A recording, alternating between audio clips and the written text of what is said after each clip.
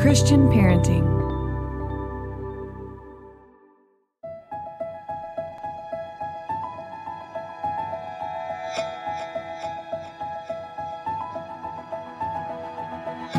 Welcome to the Living Wholehearted podcast. We are Jeff and Tara Matson, a husband and wife team who is shrinking the integrity gap in our own lives and helping others do the same. I'm a leadership and organizational development coach, and Tara is a licensed marriage and family therapist. We believe that if you have a following, you are a leader, and how you lead matters. Whether you are leading in the home, work, or community, we are bringing you biblical, clinical, and relational wisdom to help you in every relationship that matters most to you. None of us do this perfectly, but we are leaning into the reality of our humanity and profound wisdom of grace.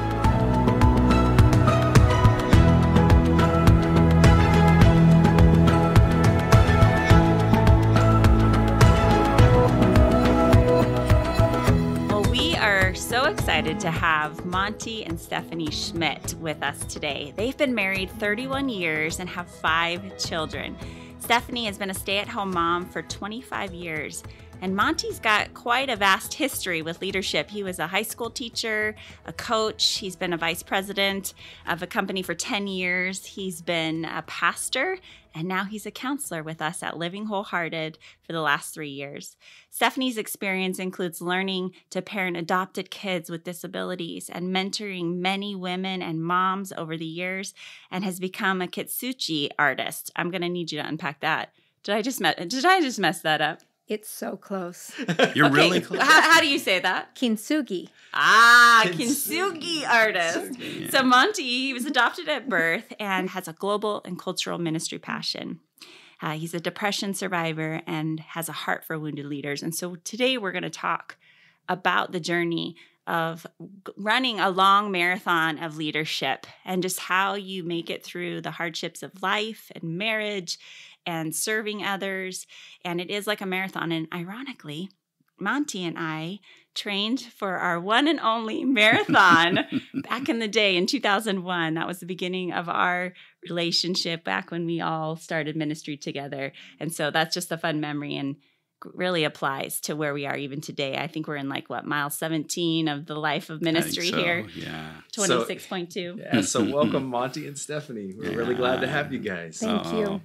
All right, well, Monte, let's start with you. So tell us a little bit about life story, background. We'll get to some of the leadership stuff, but just tell us a little bit about you. And uh, we'd like to hear. Our audience loves to get to know our our, our guests, and uh, tell us a little bit about life and life as a uh, growing up and uh, in your experiences. Yeah. Thanks. Well, uh, again, on behalf of Steph and I, we're just so pleased to be here. Lifelong friends and journeying together, uh, marathons, both literally and figuratively. And uh, yeah, as uh, as our bio says, we're we're not. We're certainly not uh, pups anymore. Um, my lovely bride and I, we have lots of stars and scars together, as we like to say. And uh, after 31 years of marriage, raising five kids, we're in a chapter of life right now that I I think that we're just trying to put together all of those puzzle pieces that have taken place. And at the time, we were in them, but we didn't fully understand all of them. We really didn't. And so, um, our chapter of life right now is just really um, trying to still absorb that, but then hopefully, then just sharing that in a variety of different ways in life with just all the people that God is bringing to us. Stephanie, what about you? Anything you want to add to the stage of life you're in and the and a bit of the journey you've been on? Well, I would say in a lot of ways, it's just, it feels so much easier than some of the places that we've been. And I feel like God has allowed us to be in a place that we're able to take the things that we've experienced and really hurt through, but also healed through and put it into practice and and just continue um, growing in our relationship with the Lord, growing in our in our knowledge of uh, our own hearts and each other's hearts, and then um, we still have two girls at home. Our two daughters are still at home, and just putting it into practice as we continue raising them, and then parenting adult children. And you got four boys, right? Three. Wait, three boys. Yeah, That's yeah, right. Yep. That's right. three three sons who are all grown, and then our daughters um, came to us via uh, South Korea and China. Yeah, so five total. Yeah, Yeah. shout out to uh, Jared, Joel, and Alex. Yes. yes, okay. Our- our Yep, one that's Yeah. right. That's right. Tell us a little bit about that journey of choosing to do adoption um, after having your three sons. I'm curious about that. Yeah. Well, Monte was adopted from the Portland area, and so even when we were dating, we we decided that adoption was important to both of us, and we weren't sure what that would look like uh, once we got married, and you know, would we have biological children and adopt or just adopt, or we weren't really sure, but we knew that we wanted that to be part of our story, and so we had the three boys and thought that probably adoption would be something that would be later on. And when the boys were, oh, in the probably like three, three to six range, they're pretty close in age. And they started asking if we could have more kids. and so we told them about adoption and they started praying about it. And that was really important for us because we knew that we didn't want it to be something that we just decided to do, but we wanted to do it as a family. And the boys being a part of that was really important to us. Yeah. In fact, uh, one other, I think, little factoid with that is that, you know, we, being adopted, I, I think I just always had this intuitive sense that it would be good to pay that forward, so to speak. In fact, we talked about it when we were either engaged or dating. We can't remember which it was. It was a Um, long yeah. time ago. But even with all of that, um, you know, to Steph's point, we did want it to be something that we did just as a family. We did, we, we just really were trying to do our best to pay attention to not just ask our boys to come along for this ride. Well, the reality is, as Steph said, is that um, of the simplicity of children. We we were still praying through all of the practicalities of what would this be like and what would it do to our family, all of these things, and the boys were kind of like, "What are we waiting for?" I mean, can I, you know, and so in in essence, they were really important to us in making the journey. And it, and it needed to be important because once we brought our daughters home that we loved so, so much, there were all these things that had to be done in us ahead of time because we just really at that point had no idea what we were going to face. yeah, needs and mm. Yeah, just I could see those three boys when I we first met you all. You you were being commissioned at, at, at our church, and I can remember I see I see those three boys and that they're so when they were that young, and s- just remember smiling, thinking, "Man, that that household that's a busy household right there, three boys. Yes. And uh, and then to see you guys uh, bring your girls into the picture, that's special. And now those fellas, uh, I, I I see them now, and Alex, Alex is taller than me. yeah, yeah, he's a I'm big six boy. foot. I'm not short. so it's like a, Well, I hear you both kind of alluding to again a lot of the hard in the journey. You know, we often tell Mm. the end of the story. And so, what I love about the seasoned life you've lived is you've got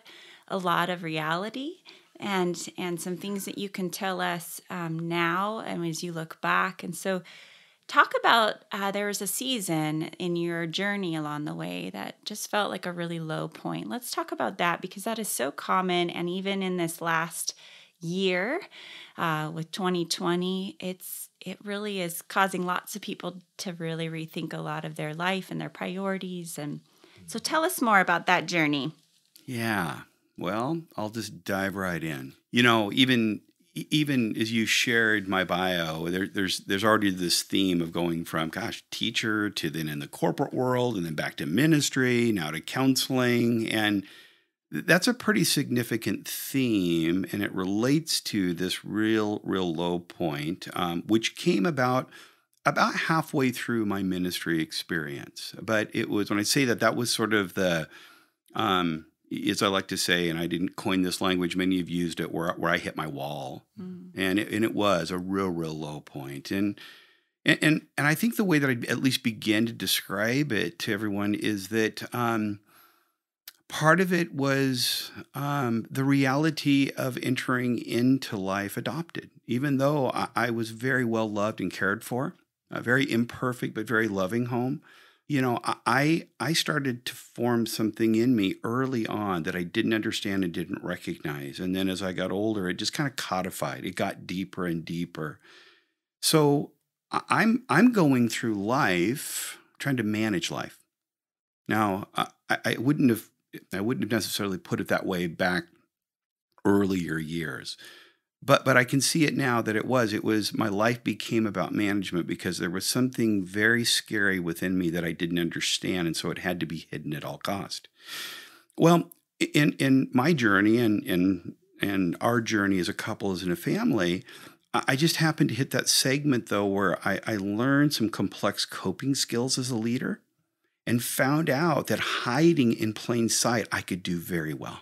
Hmm. It was almost like a chameleon esque. Um, part of it was people pleasing. Part of it was I knew how to use manipulation skills. Um, not that I meant them to be evil, but they really were. I was I knew how to move myself in situations, and you know there you go back in in the in the education world, in the corporate world, ministry, nonprofit. Man, those th- those are actually sought after skills many times all of that was going on and looking really good, I think, to most people on the outside, including my wonderful wife that's sitting here next to me now.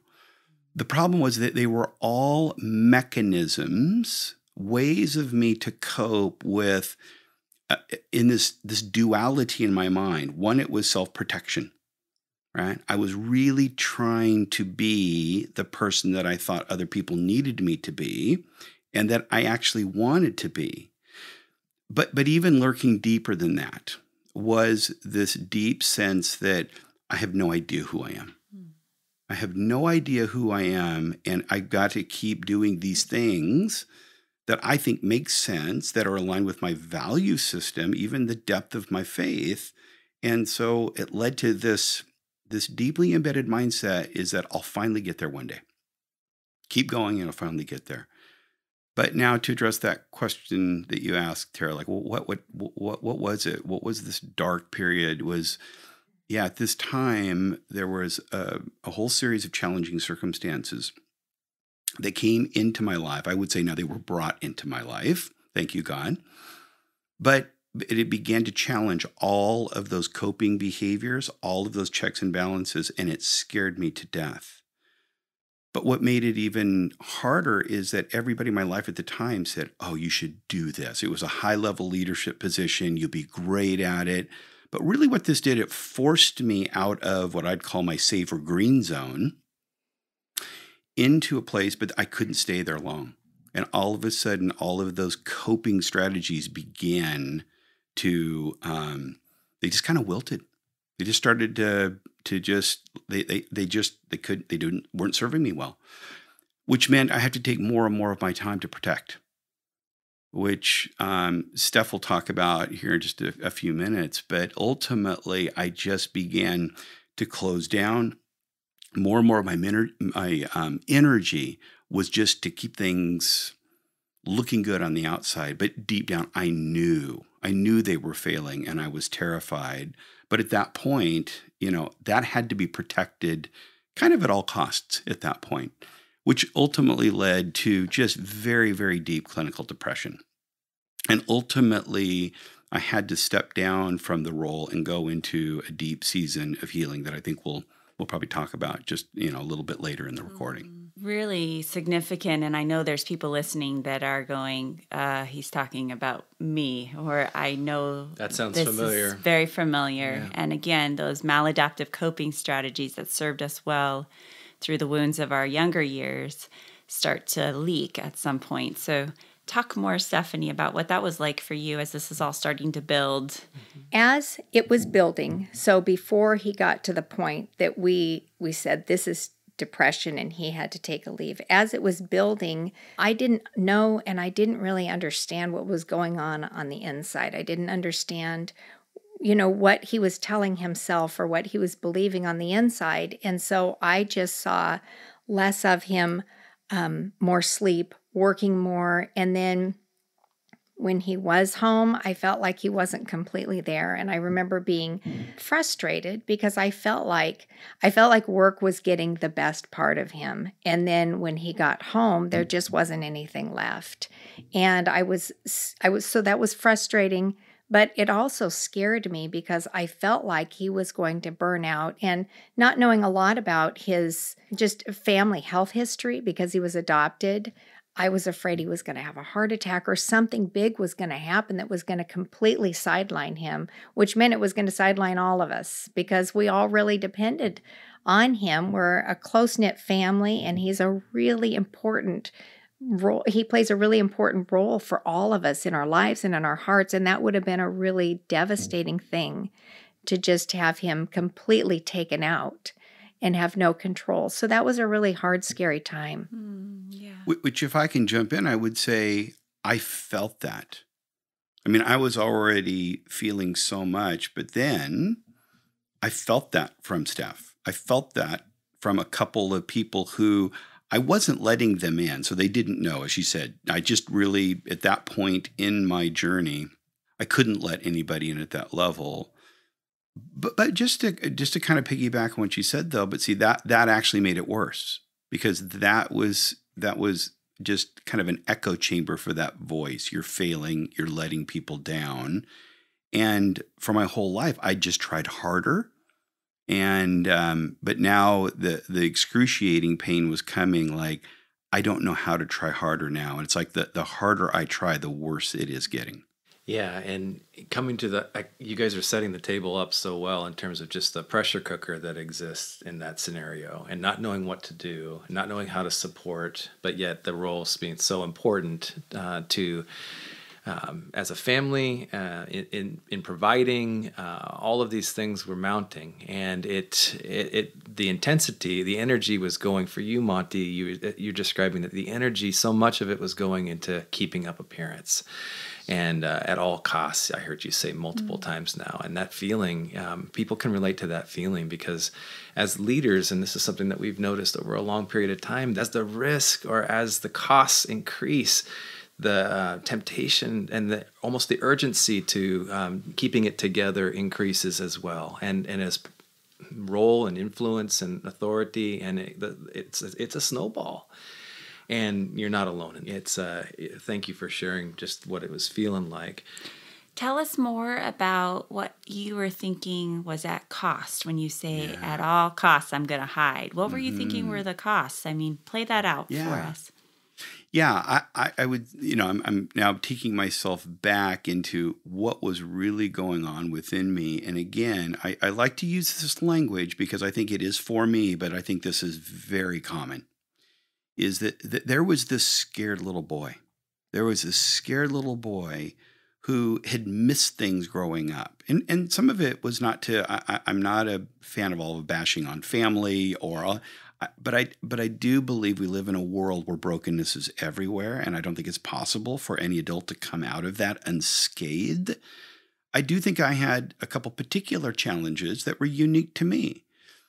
But, but in answering that question, Tara, it was, it had been a lifelong journey to essentially find myself. And even though I knew I was not at all where I wanted to be, what was not missing is I knew what I most wanted. I knew what I most believed. I knew my relationship with Jesus was real. I knew how much I loved my wife and my kids. I knew how I really wanted to serve the body of Christ. And I knew what I wanted but that image is what had to be protected. There was a disconnect there. It wasn't all one side or the other. It was the and both. I knew what I was going for, but I knew there was a gap. And I just did not feel at that time that I could let that all down and just say, I'm a very broken person.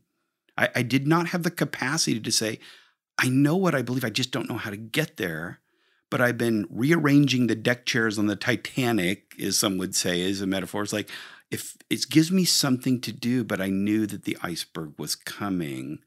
And so that's what terrified me is that that that all that stuff that I had been living for would be exposed. Even the stuff that I said, well, I don't want to give that away. I just want it to be real. And hmm. so when the circumstances brought you to that place where it, it you didn't have any control o- over the it, tell, tell us a little bit about that. Yeah. What did you feel? Was there any freedom in that in some respect? Great or? question, Jeff. Yeah. And this is, you know, and, and this is where I will say, rightfully so. I mean, everybody will, you know, uh, everybody's story is different. I'm not going to try to paint a picture that everybody has to go through the sort of thing I went through. I don't, I don't believe that at all.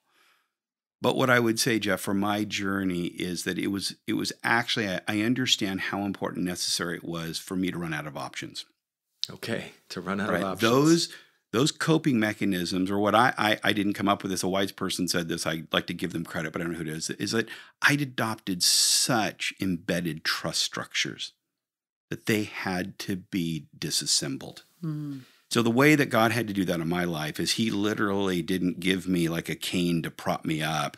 He took me out and put me on a gurney. Mm. So in in mine, I mean the the the depression went from just kind of emotional roller coaster to I finally literally fried out my adrenal system, which which manages brain chemistry.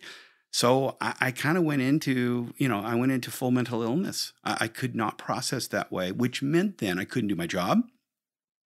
And I found myself sitting in front of a gifted counselor and a gifted doctor that this is what they did. And they said, You need full time medical leave now, which then led to a multi month period where I did, I literally had to step down off my job and move into a period of healing. But it was months and months. It was, it was, it was an excruciating time.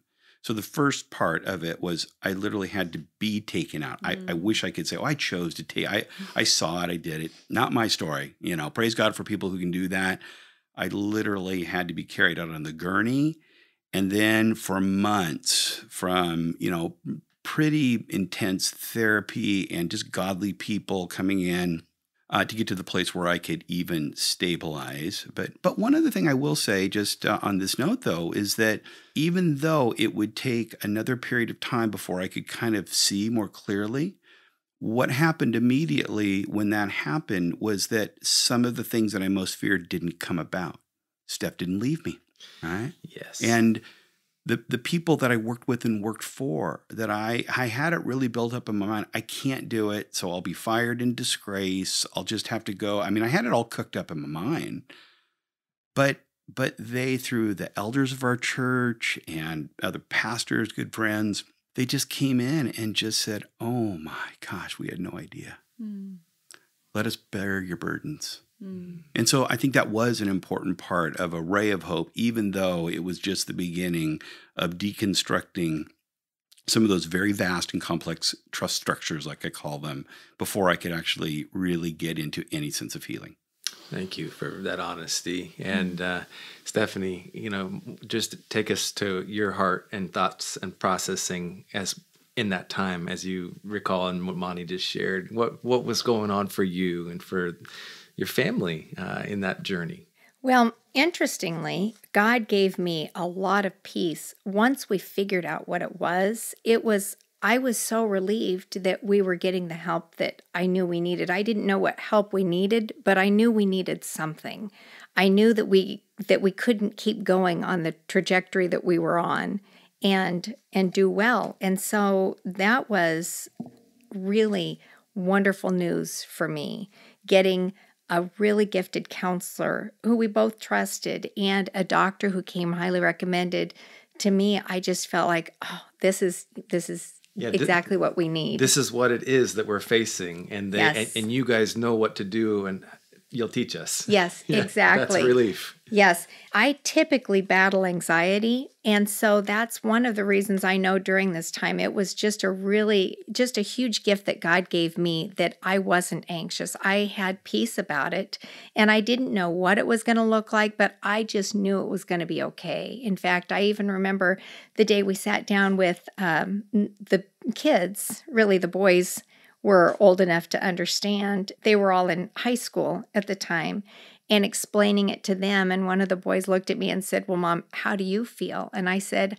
It's going to be okay. I really believe it's going to be okay. I don't know what that looks like. I don't know how long it's going to be, but God gave me the peace to know that it was going to be okay. But part of it too was really trusting and feeling like we were in wonderful, capable hands. Well, several things as we conclude part one that I'm hearing that I just want to draw out is some of our journeys come to a screeching halt when we run out of options. I think about our training and our marathon training, and all I wanted to do was to finish that marathon. I didn't care how, what the time was. And I think about how, what happened after, and I use that in the book, Shrinking the Integrity Gap, that analogy of all the training that we did that prepared me for the marathon. And I actually didn't feel the injuries that I thought maybe I would feel. In fact, I was ready to go run another one. I was really surprised I didn't. And I just remember the little things like the crowds on the sides that God would bring to just cheer me on. And when I was feeling like I was going to hit my wall, which they said at mile 17, you would hit your wall. And I didn't because there were people there cheering us on. I remember seeing Jeff and I remember seeing signs and I remember being handed gummy bears and bananas. Mm-hmm. But there were a lot of people falling off on the sides and, and not finishing the race. And and then there's some of us that, you know, run it and finish it, and there's injuries along the way. But we, and I remember the last two miles of that marathon for me, I had a friend who came and joined me and finished the race with me. And there's all these pieces that I'm hearing in your story that are so vital to be able to finish the race because here you are, you're still in the race, Monte. And so let's talk about that more in our next uh, week uh, so definitely come back because I know you want to hear how, how what happened. Like, how did Monte and Stephanie move through this, and how can you, as a leader, run your race well, regardless of where you are, whether you're starting out and you're training or you are at mile 17 in a 26.2 mile race. Well, in our podcast, you know us by now that we're about helping leaders with live with integrity, and we're trying to do that in our own lives. And it's a it's an everyday lifestyle rhythm of choices that we make. And uh, you know, uh, we've written uh, "Shrinking the Integrity Gap" together. Tara and I, our first co-authored offering, and it speaks to that um, not only from our lives, but the clinical, the biblical, and relational wisdom. Uh, it's available everywhere. Um, you can purchase books, and we hope that you will join us in the movement to help shrink our integrity gaps.